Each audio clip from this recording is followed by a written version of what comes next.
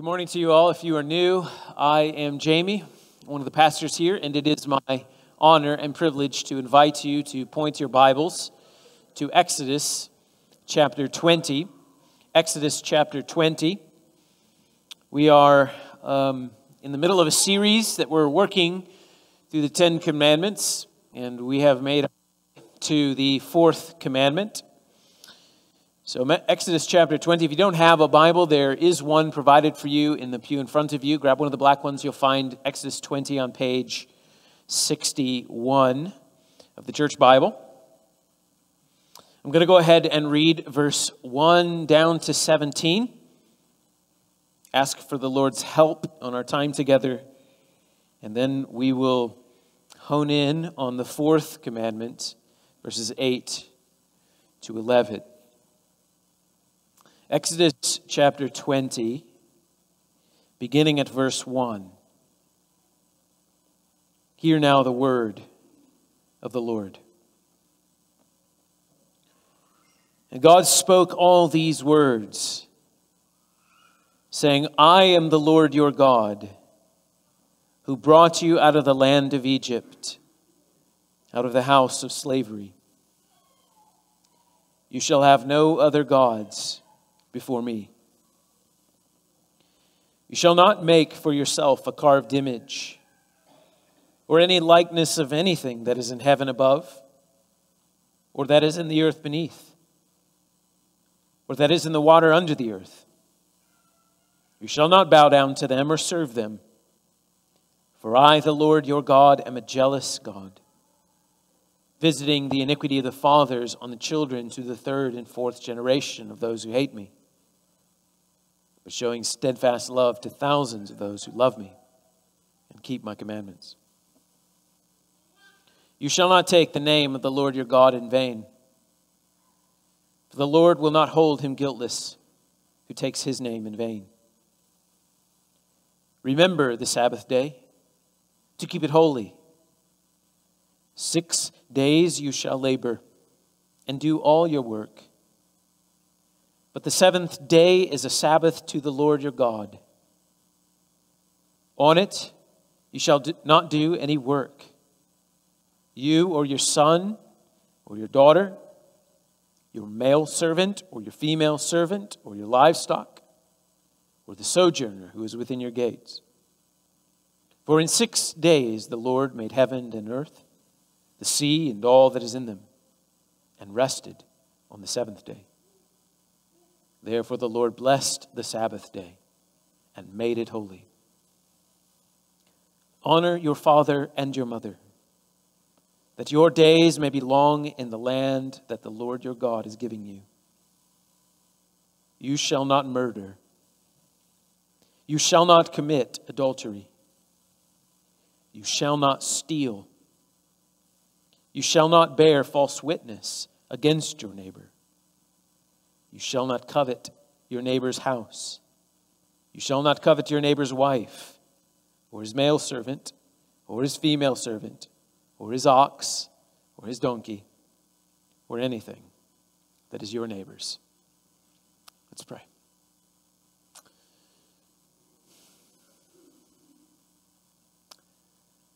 Father in heaven, you have written these words with your finger upon stone tablets. And now I ask, O oh Lord, that you would write these truths upon these hearts. These hearts which you have softened to be hearts of flesh.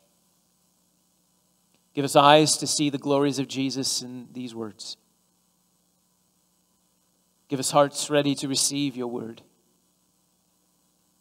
Give us faith to trust and to believe in you and to follow you and to love you with all of our heart and soul and mind and strength.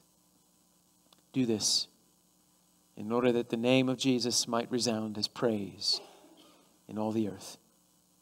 We ask this in Jesus' name. Amen. Well, maybe I should start out by pointing out what is perhaps not so obvious. God commands rest. the Bible commands rest. And how different this kind of thing is from all other man made religions. Because when man makes a religion, he makes it about working, he makes it about doing. You do what you need to do in order to get right with the deity. And even humanism and atheism do the same thing. Do this, and you'll receive this as a reward. But only the Bible teaches no, no, rest. I got this. I'll take care of this. Resting is a command of God. More than that, overworking in the Bible is a capital offense. You may have some idea of God in heaven scanning the earth with his finger on the trigger, waiting for anyone to have too much fun that he could shoot and send them straight to hell.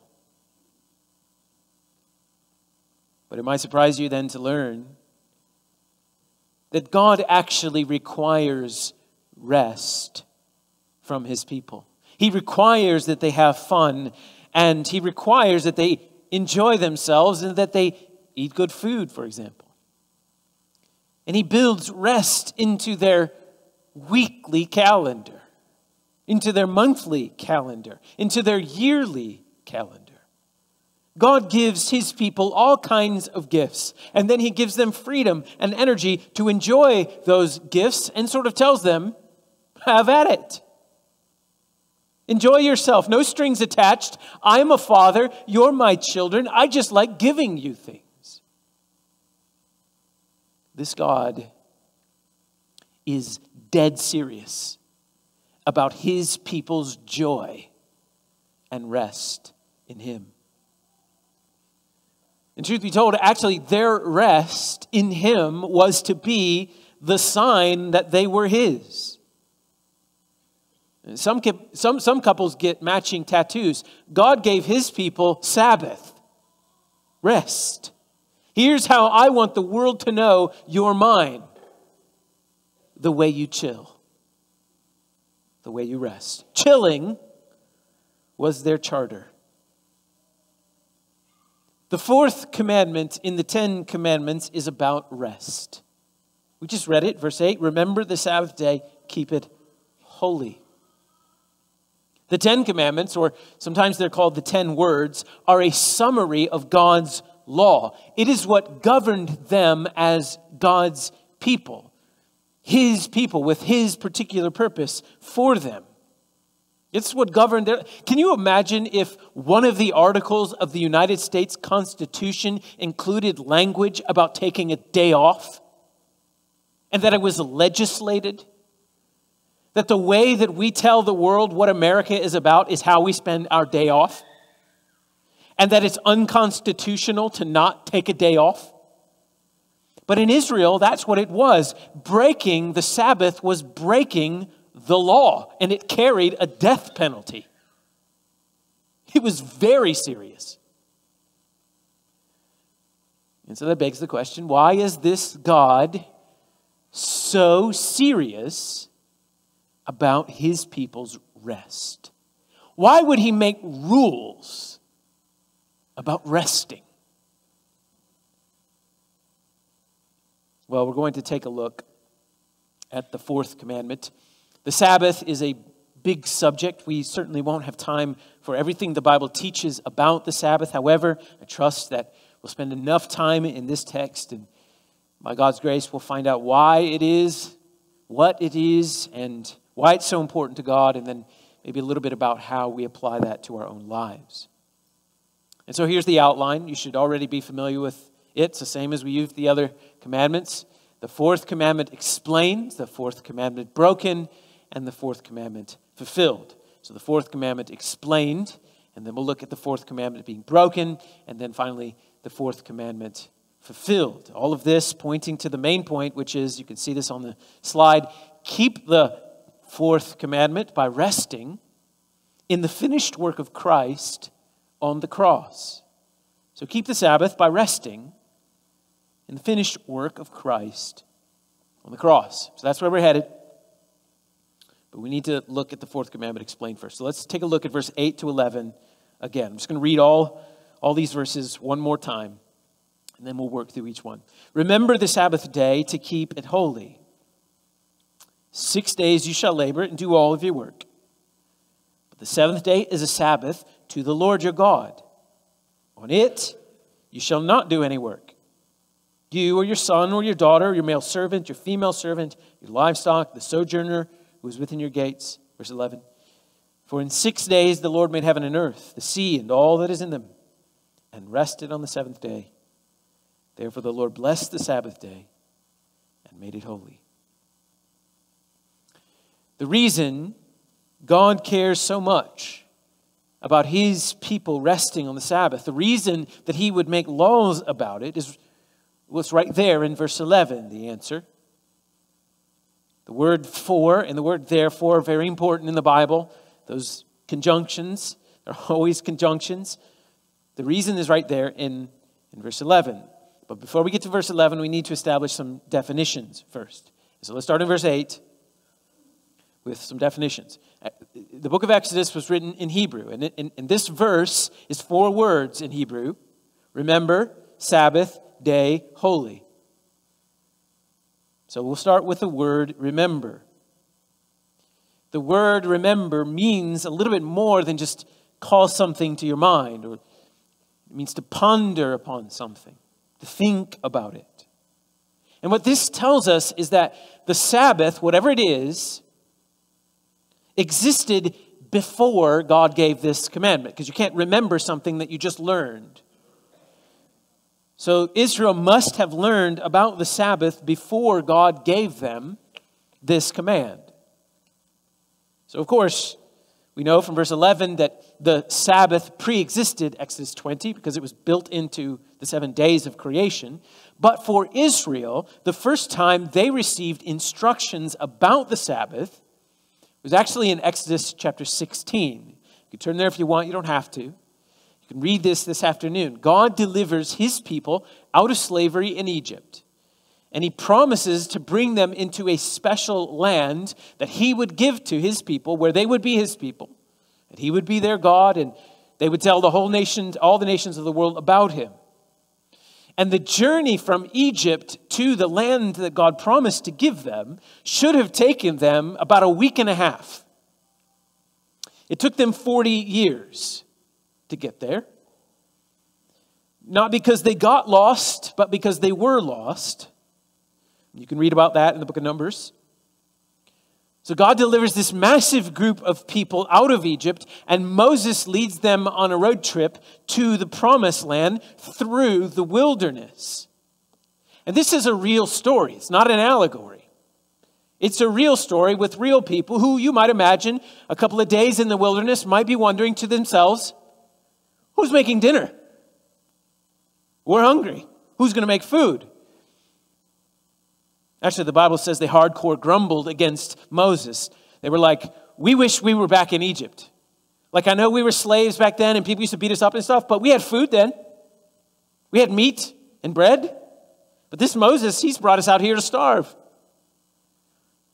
If I were God hearing that, that complaint, I would have sent them fire and sulfur to eat but I'm not God, and God is much nicer than me. He sends them miracle bread that just sort of, sort of shows up on the ground. He, he sends them game birds to fly over their head and just die midair, fall to the ground. You don't even have to shoot them. And they get up in the morning, and all they have to do is gather food and gather meat, all that they need, and go about their day. On the sixth day of gathering, they were to gather twice as much as every other day because, and this is chapter 16, verse 23, the seventh day is a day of solemn rest, Sabbath. And God says, I don't even want you to worry about picking up your food on that special day. I want you to pick up twice as much the day before so you don't have to worry about picking up food on my special day. I just want you to chill I just want you to hang with the fam. I just want you to play with your kids, call the boys over to just hang at the crib. Just rest, enjoy me, enjoy the stuff that I've given you. It's my day. And so here in Exodus 20, God says, Remember that day, the Sabbath. The word Sabbath means ceasing, means stopping. It's, it's literally the day of stopping. Surrender your desire to do and just don't. It's not really a day of can't do's. It's mostly a day where your have to's become replaced by your want to's. Literally, verse 8 reads Remember the day of stopping, keep it separate because it's really important. So that's what it means the word holy. Keep it holy, keep it separate. It's a special day, it's an important day, it's a holy day. It is a day marked by rest and relationship. A day marked by rest and by relationship, by enjoyment, by worshiping the God who has provided all that we have. It is a day to slow everything down and to just trust in the Lord and rest. It is a day of ceasing. Now, maybe we should time out for a second because we're, we're in the Midwest, and some of you might be having a panic attack right now when the Bible says, don't, don't do, don't work. Verse, verse 9 is coming, so it's not like the hippies are taking over and they're just going to not work and everybody's going to live with their mom and play Call of Duty all day long, okay? And then plead the fourth, right? That's not what this says. It's not about not working. Because verse 9 comes, six days you shall labor, and then do all, and do all your work. And, and actually, the, the, the fourth command addresses overworking and underworking together. Because both of them uh, commit the same sin. We'll get there in a minute. So, my fellow Midwesterners, just breathe. Okay, verse 10 The seventh day is a Sabbath to the Lord your God. The seventh day is a ceasing to the Lord. So God's people were to set aside one day in seven for rest, for enjoyment, for the Lord, to the Lord. So then, what does it mean that the ceasing is to the Lord? How is their stopping something they do or don't do for the sake of the Lord? And I want you to just hang on to that because I told you the answer comes in verse 11. So just hang on to that. We're almost there. First, we got to look at the rules. The, all the rules in verse 10.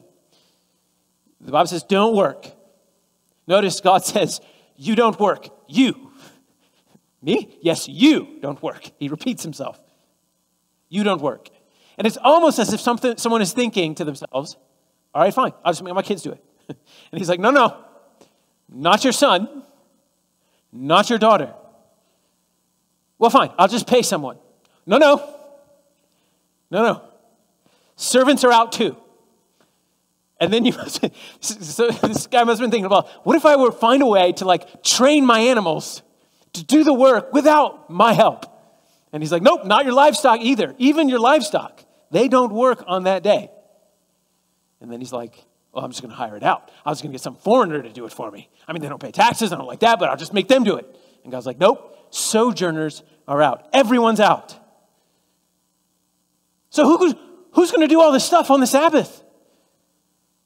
And the Lord's like, now you're getting it. No one works on the Sabbath. So the fourth commandment means that God's people not only partake of rest, but they provide rest. They partake of it and they provide it. Everyone gets to chill, everyone enjoys the day of stopping. The Sabbath day is to the Lord your God. So there is something about this day, this day dedicated to the Lord, that makes your and my working, their doing on the day, offensive to God. There's something about this day that makes working offensive to God. We still haven't answered the question why is God so particular about rest on the seventh day? Now we come to verse 11. Because, that's what the word for means, because in six days the Lord made everything and rested on the seventh. This is the why. Here's the reason it's the day of rest for God's people because it was the day of rest for God. God's people cease because God ceased on that day. Therefore, the Lord blessed the Sabbath day and made it holy. So God made it holy, and God's people keep it holy. God rested on the seventh day. Now, this is a bit of a strange thing, isn't it? God resting. God don't get tired. He's omnipotent. So he doesn't run out of energy. He doesn't need to recoup from a long day. It's not like after a, a, full day of spinning the galaxies and keeping your crazy life together, he is at the end of the day, just kicks back, puts his feet up, gets a cold drink, is like, geez, golly, I need some rest. God does not rest. So there's got to be another reason why on the seventh day the Bible says God rested, if it's not for recuperation. God's resting on the seventh day was for enjoyment. God created everything in six days and rested on the seventh, not because he was tired, but to enjoy the work of his hands. The Sabbath day for God's people is God wel- welcoming them to share in his joy in his work. So, if you're looking for a definition of what the Sabbath is, it is God's invitation to his people to share in his joy in his work. It's a bit like a dad who works all day long to build a swing set for his kids and then just says, Have fun, enjoy yourselves, enjoy the thing that I made with my abilities, with my strength, with my tools for your fun. And this is something that God baked into every single week. Every week of their life, they were to rest and enjoy the work of God's hands. Actually, if you look real closely at the creation narrative, God builds rest into every single day. Have you noticed the pattern in the creation narrative? God does all of his work, and there was evening, and there was morning the first day. God builds rest into everything. When a helper could not be found for Adam, what did he do? He put him to sleep. And from his side, he made the finest work of his creation, the woman. When God entered into a covenant with Abraham, what did he do to Abraham? He put him to sleep, and God cut the covenant himself. God works, God does, and then God invites his people in to enjoy his joy in that thing that he did. The late Eugene Peterson put it so well when he said, Every day we wake into a world we didn't make, into a salvation we didn't earn. Creation and covenant are sheer grace and there to greet us every morning. God creates, God provides, God sustains, and then God welcomes his people into his joy. That is what the Sabbath is. your God welcoming you into his joy in the things that he has made, into the work that he has done. That's what the Sabbath is. So then the, the next question I have, I am not about you, but the next question I have is then why would anyone break the Sabbath? If the Sabbath is truly just about ceasing in order to rest in all the things that God has provided relationships, the good gifts that God gives, without having to do anything for it, why would anyone break the Sabbath? Because those of you who've been in the Lord for a while, you've read your Bible, you know breaking the Sabbath, it's like a big deal. It comes up over and over and over and over again in Israel's life. Why? Well, that brings us to our second point the fourth commandment broken. And I think you'll see the reasons people break the Sabbath are simple, if not deeply troubling. God's people break the fourth commandment because deep down, they don't trust God. God's, God's people break the fourth commandment because deep down, somewhere, they don't trust God. So, this afternoon, if you're reading Exodus 16 and um, just kind of getting an orientation around the Sabbath, keep reading. Read chapter 17, where after, after Israel complains that God, through Moses, was not providing meat and bread, they complain again, this time about water. And it's the same thing. Moses brought us out here, he's going to kill us. We don't have anything to drink.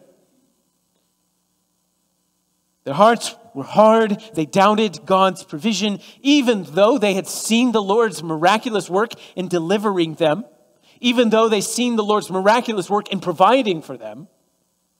They didn't believe. And God swore in his wrath, they will not enter my rest.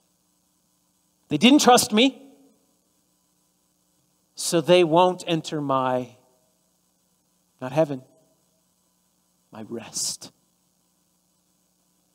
So you see that the Sabbath at its core, resting at its core, ceasing at its core, has something to do with faith, with trusting the Lord.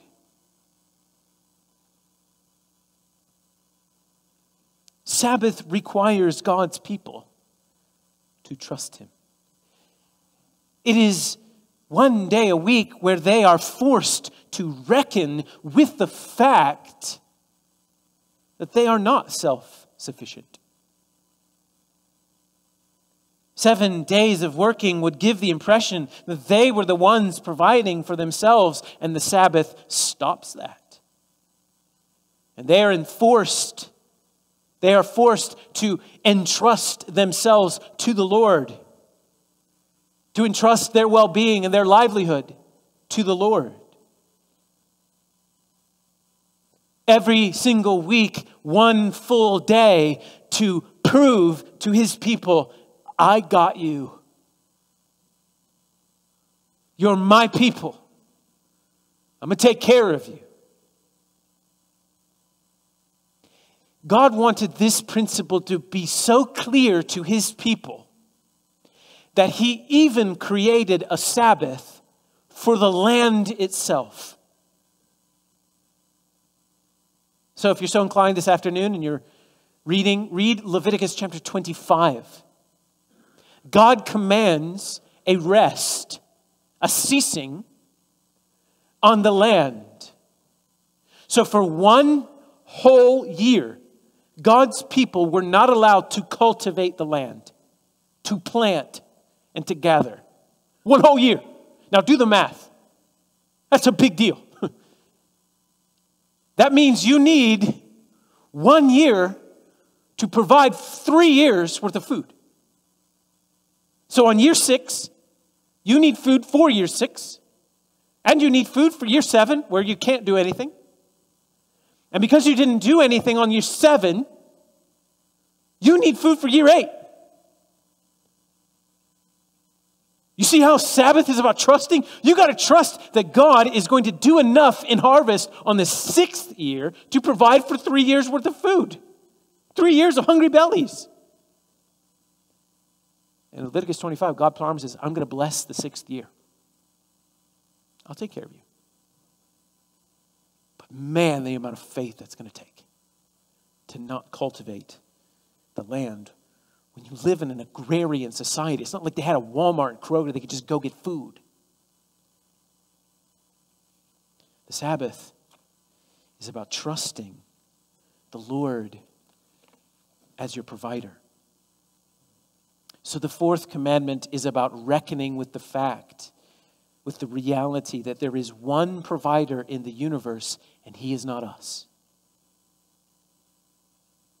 Sabbath is an atom bomb sent to destroy the pride of man and every notion deep in us that says, if it is to be, it's up to me. Man, this forced stoppage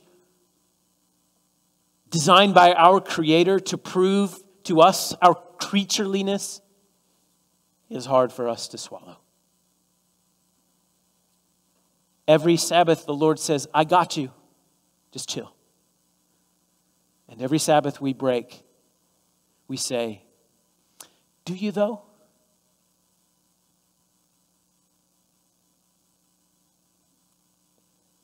God meant for rest to establish his people's identity.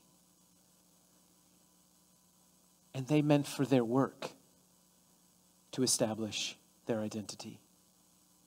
But we all do the same thing. It's not just Israel. Because to our minds, if I do more, then I must be more. If I have more, then that must mean that I mean more. And if that is true,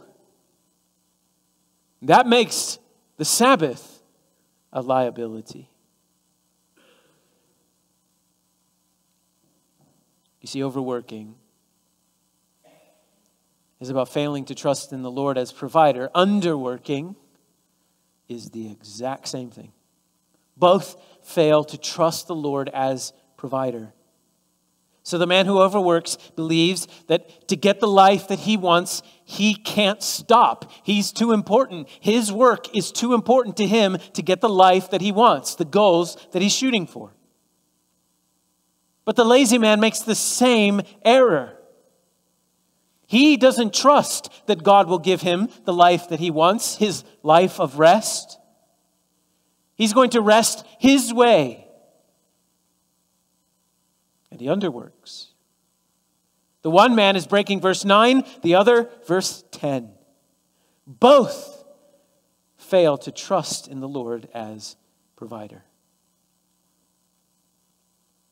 Sabbath requires faith requires us to surrender control over our well being, over the outcome of our work, of our life, to the Lord. It asks us, it demands that we sacrifice the urgency built on our own sense of self importance and sufficiency to believe that God will be faithful to his word and provide for his people. That he will bless six days of laboring for seven days of life. And when we act like we can't afford to slow down, we can't afford to enjoy God and his good and varied gifts, when we act like we can't trust him to provide for us, brothers and sisters, we break the fourth commandment. And let me remind you the fourth commandment is a Sabbath to the Lord your God. We break the fourth commandment when our ceasing, when our faith is not for his sake. So that's the fourth commandment explained. That's the fourth commandment broken. Now we turn to the ways in which the fourth commandment has been fulfilled. And no surprise here, we're on our way to meet the Lord Jesus. So if you have your Bible open still, please go to Matthew chapter 11. We'll see how the Lord Jesus Christ fulfilled the fourth commandment. Matthew chapter 11. If you're using one of the church Bibles, that's page 816. Chapter numbers are the big numbers, the verse numbers are the little ones. And if you're using the church Bible, this is in the second column, right hand side, about the middle of the way down. We're going to read verses 28 to 30. Matthew chapter 11. This is the Lord Jesus speaking, and he says this to those gathered. He says, Come to me, all who labor, verse 28, and are heavy laden, and I will give you, what's your Bible say? Rest. Take my yoke upon you and learn from me, for I am gentle and lowly in heart, and you will find, what's your Bible say? Rest for your souls. For my yoke is easy, and my burden is light. The seventh day of rest was a kindness of the Lord to his people. It was a holy day, special day. But the sun always went down on the seventh day, and it always came up on the first day. The first day always has a way of coming back. We work for six days, we rest on the seventh, but then the new week starts and we got to keep working. There's always more work that needs doing. The rest is never final. And what the Lord Jesus is saying here in Matthew chapter 11 is it's actually quite profound, if not even controversial. He says, The rest your soul needs isn't with the Sabbath day, it's with me. Rest isn't a day of the week, it's a dependence on me. Come to me and I will give you rest. He doesn't say, Keep my commandments and you will have rest. He says, Come to me and I'll give you rest. So Jesus makes the fourth commandment. He makes rest about himself. And it's not by accident the gospel writer Matthew then goes on to include a couple of sections in your Bible about the Sabbath. Chapter 12, Jesus teaches about the Sabbath. Jesus heals on the Sabbath. Jesus even calls himself the Lord of the Sabbath. And you guys know this if you've been with us through our series in Luke. Jesus does all kinds of things on the Sabbath. He could have healed any other day of the week, he could have driven out demons any other day of the week. It seems like the man goes around waiting to do all of that and then doing it on the Sabbath just to get everybody riled up. He removed obstacles. He removed man made laws about the Sabbath. He removed physical barriers, spiritual barriers to his people's rest.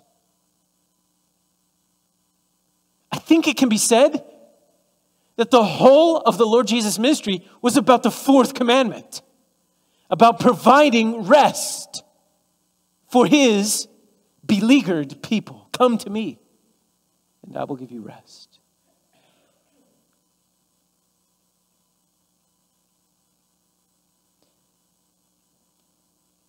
What was it that took it away? So, if God wishes and wills his people to have rest, what is it that takes that rest away? It isn't work. God gave work before the fall. Remember, he took Adam, put him in the garden? Work it, keep it, that was before Adam fell. So work doesn't take rest away. Something else took it away. Well, remember I said that the Sabbath is about trusting in the Lord. And so obviously, what takes rest away is not trusting in the Lord. Sin. A lack of trust in God as provider. Mankind's first sin in the garden And every subsequent sin since is the same. At its core, it is the same. It is to hear God's promise of provision and then to say, Will you though? So Adam and Eve failed to trust in God as provider. They broke his commandment to become like him, meaning to become providers like he is. And when you get to Genesis chapter 3, the curse of sin introduces pain into two things rest and relationship. And I told you the, the Sabbath is about rest and about relationship, about enjoyment of God. And what does sin do? Sin brings pain into rest, pain into relationship, pain into the relationship we have with God, the connection we have to God, the enjoyment that we have in God. So to Eve, the curse was pain in relationships. Pain in the relationship with her kids and bringing forth kids. Pain in her relationship with her husband. And to Adam, pain in his work, it became toil, frustrating, sweat producing, thorns and thistles. Sin separated them from God and brought pain into rest and relationship. And here in Matthew 11, you see the Lord is restoring both. Come to me, and I will give you rest. If you come to me, that's a restoration of relationship. And having this relationship restored, I will give you rest. And Jesus did this finally through the cross. The Lord Jesus gave his life to suffer the wrath of God for sinners. He suffered the full penalty of sin. He took on the separation that sin produced between God and God's creation. And on the cross, the Lord cried out those three beautiful, life changing words It is finished. And they took his dead body off of that cross and they laid it in a tomb. And on the third day, the first day of the week, he rose again.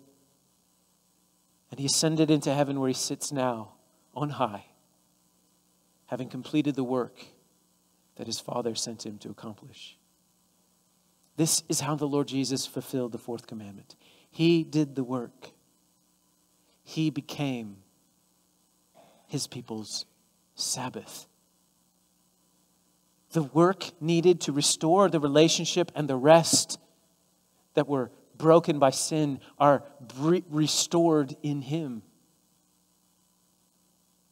There is nothing more that needs doing. Everything is finished in Christ. It is finished. And so, therefore, brother, sister, there is no more work you need to do to commend yourself to your Creator. It is done come to Christ. He will give you rest. And this applies to all of us, no matter what you've done, no matter who you are. You don't need to pay God back. You don't need to make it up to Him. His mercy is a gift. You receive His forgiveness for your sins freely, and you find rest for your soul. In the same way that God did work for six days and rested on the seventh, Christ has done all the things so that you can rest in Him forever. If you've never trusted in Jesus Christ, sinner, turn from your sin. Listen to the Lord in Matthew 11. Come to Him.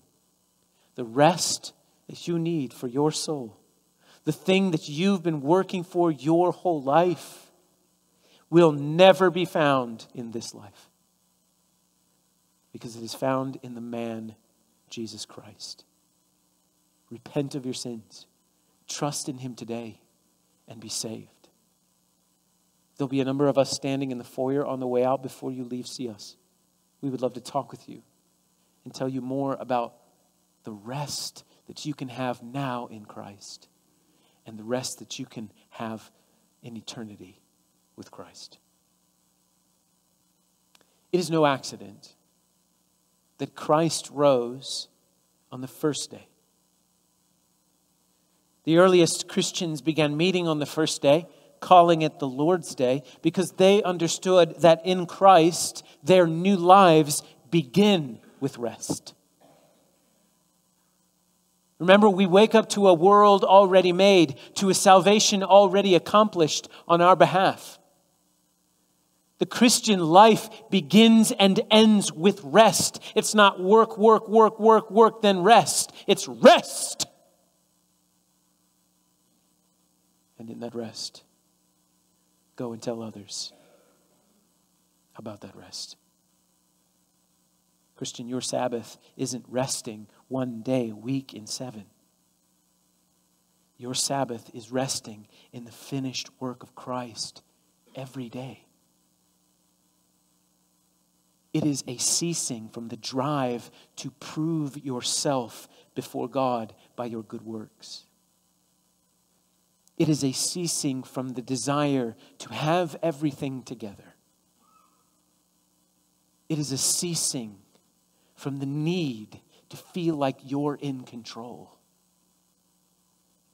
It is a trusting that God has provided and that God will provide.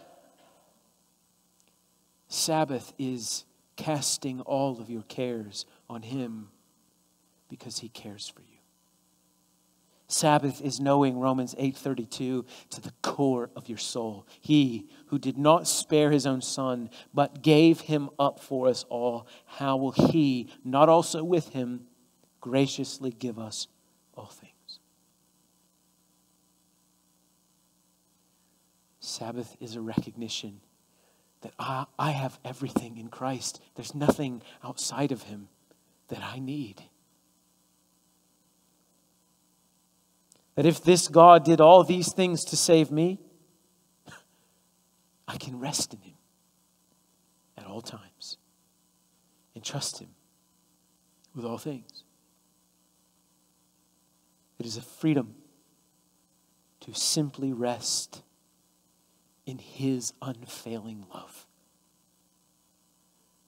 in His kind care, in His perfect provision and in his security. It is finished. And this means, if you might be wondering, that the Sabbath is not reserved only for those in full time employment. The Sabbath is for every person in every season retirees, stay at home moms, children, all can enjoy the beauty of the day of ceasing. Because remember, the Sabbath means trusting God by ceasing from normal activity to enjoy Him, to rest in Him. The Sabbath is enjoying the good gifts that God has given, knowing that you don't have to do anything to earn it. You can just rest in it, you can just play. And that's something we can all do. Christ is our Sabbath. And we get to rest in Him now. And if you're a Christian, you get to enjoy resting in Him forever. Hebrews chapter 4 says that there is a rest still to come. It's referring to heaven. It's true that it is finished. But you know that the effects of sin on rest and relationship are still being felt today. But, dear Christian, take heart. One day that will not be. Do you remember playing when you were a little kid? You would spend time just playing, not conscious of anything else. You simply played for the sake of playing. No obligations, no expectations. Everything was forgotten. You just played because that's what kids do, they play. And time just didn't mean anything. Do you know what that was? It was a, sim- a single drop of heaven on your soul. A microsecond of the eternal rest that is to come. Every Lord's Day is meant by God to be a foretaste of the eternal Sabbath to come. One day in seven to spend enjoying the Father's good gifts, no strings attached, playing for the sake of playing. One day dedicated to removing all obstacles to your rest in your Savior. And one day dedicated to removing others' obstacles to the same. One day to tell your soul and to those you love, it is finished. Let's play. Let's pray. Father, we confess that we have broken the fourth commandment. We failed to trust in you as our provider, to say that you are our God, and we trust you. We live so much like if it's if it is to be, it's up to me. And we ask that you would forgive us of our foolish pride. And grant to us, O Lord, your people, the Sabbath rest that you have commanded. Cause us to fully trust in you and the finished work of your Son. And lay aside every foolish attempt to justify ourselves before you, but simply to come to Jesus and to receive the free gift of his grace and justification, to take his yoke upon us, to learn from him, and to find rest for our souls. We pray that you would do this for Jesus' sake. Amen. Your assurance of pardon this morning comes from Isaiah chapter 44, verse 22. You can see it on the screen here. I have blotted out your transgressions like a cloud, and your sins like mist. Return to me, for I have redeemed you. Receive that today. Please stand to your feet.